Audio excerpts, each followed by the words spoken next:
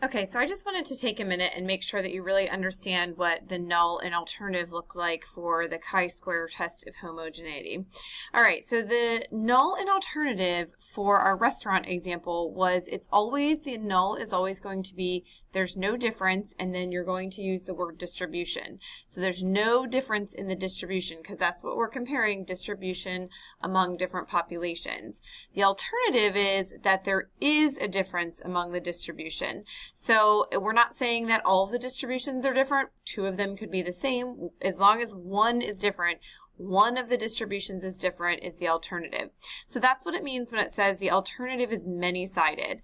So that's like saying, okay, since we can say there is any difference and could be one that's too high, one that's too low, one that could look the same, many-sided, so any portion of the distributions would be different. Okay, so it's kind of, it's not necessarily one-sided or two-sided, it's many-sided. Now, how can we compare distributions of a categorical variable? The problem of how to do many comparisons at once with an overall measure of confidence in all of our conclusions is common in statistics. So there's a problem when you have multiple comparisons. So there are a couple methods for dealing with multiple comparisons that usually have two parts. Number one is we take a look at an overall test to see if there's good evidence of any differences among the parameters. So this is where we're going to use our chi-square test because we're checking to see the differences among many distributions or proportions. And then the important thing is, is after we do this, is to do a detailed follow-up analysis to decide which part of the distributions differ and how large the differences are. So remember with our chi-square goodness of fit test, we took a look and we said, which part contributed most to the chi-square statistic? So which one is going to give us the largest difference, which one is the furthest away from the expected value of what we should be getting. And you always want to do a follow-up analysis whenever you reject the null hypothesis. So we're going to be using a test. The overall test uses your chi-square statistic and distributions. The chi-square test for homogeneity is always going to have the same null and alternative hypothesis. Make sure that you're putting it in context based on the question that you have.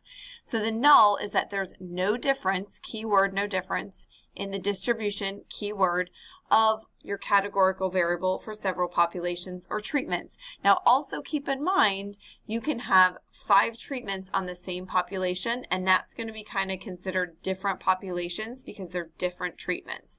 Okay, so just make sure that that's in context.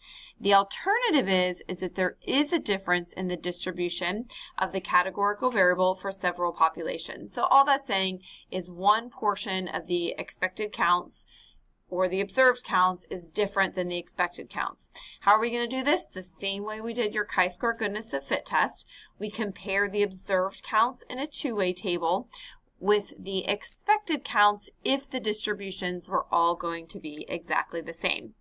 Basically, we're looking the, at the observed counts in the table to the expected counts. What we need to do next is to figure out how we're going to get the expected counts for our two-way table.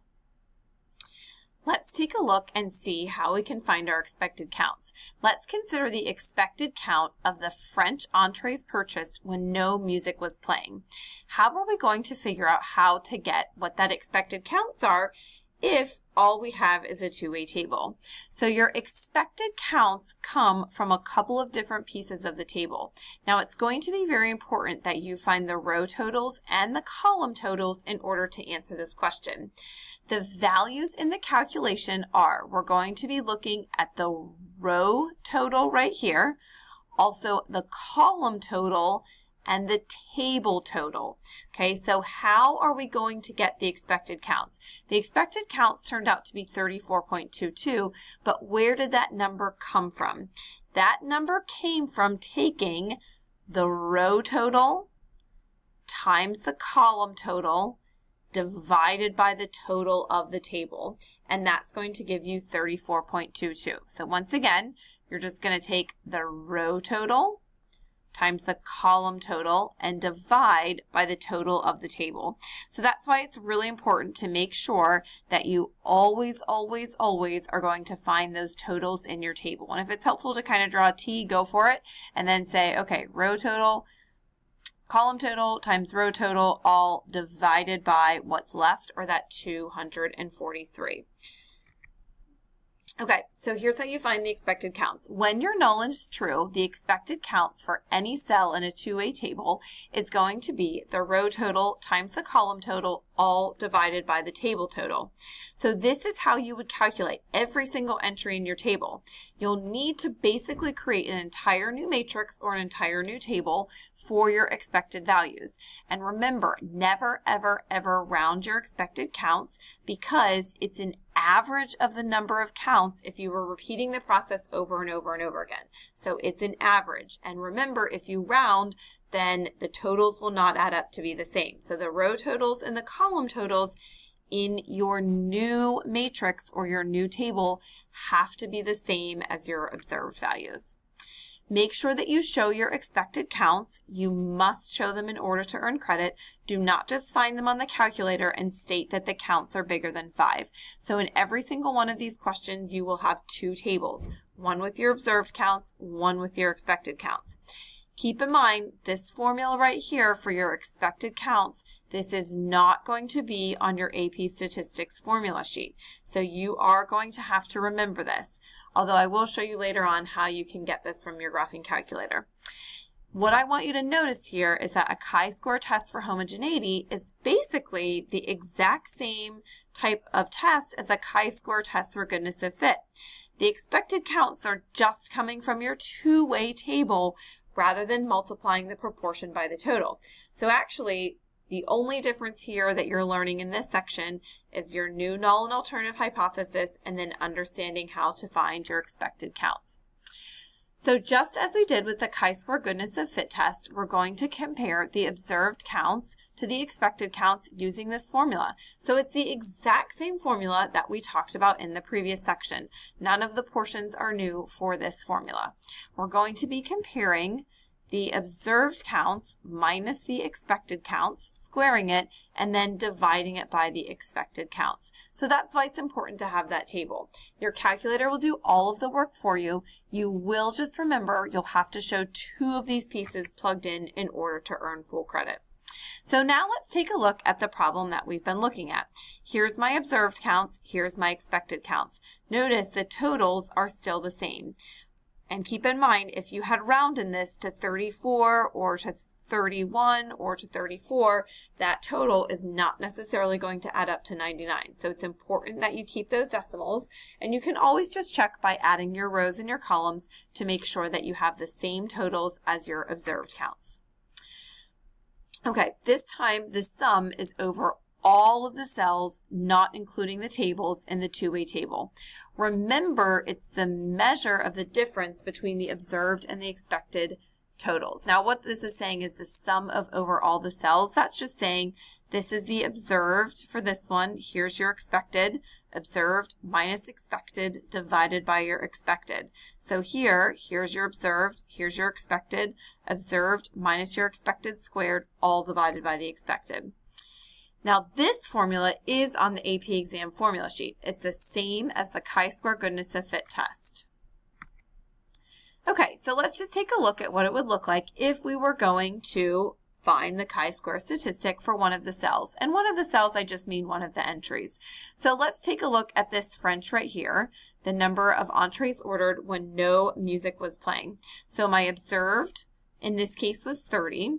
My expected in this case was 34. We're going to square that, divide by the expected count, and here's my chi-square statistic for that cell. Now that's actually not too bad. So that's kind of like saying, all right, my observed and my expected were not too far off.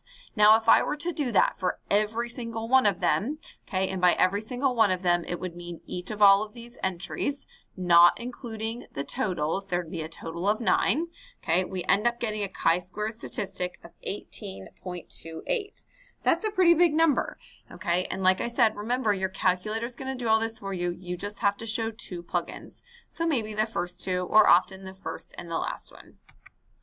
So let's take a look at what that conclusion means. So earlier we stated with the test of significance that there was no difference in the true distribution of entrees ordered when you were playing no music, French accordion music, or Italian string music. Our alternative said, hey, there is in fact a difference whenever we're playing the different types of music. So we already checked all the conditions are met and our calculated statistic is 18.28. What does that p-value work?